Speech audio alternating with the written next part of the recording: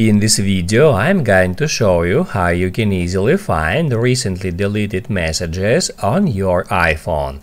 Be sure to watch the video to the very end so you don't make any mistakes and of course do not forget to like this video and subscribe to my channel.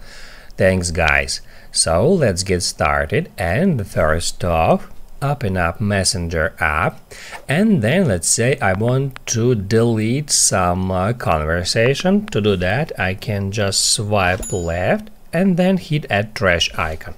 Then I can select delete and what that will actually do that will move that conversation from messages to recently deleted to find those recently deleted messages, all you have to do is hit on edit and if we got some recently deleted conversations, it will show us show recently deleted. We can just tap on it and that's where we can find all our recently deleted messages. It will keep these messages here for 30 days.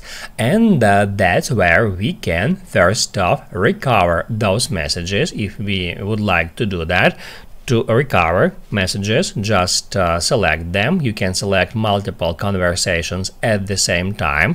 And then just hit add recover to move that conversation back to your messages.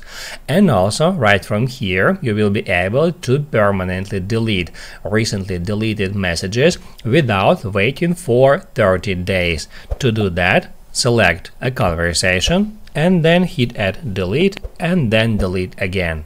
That's how it's done.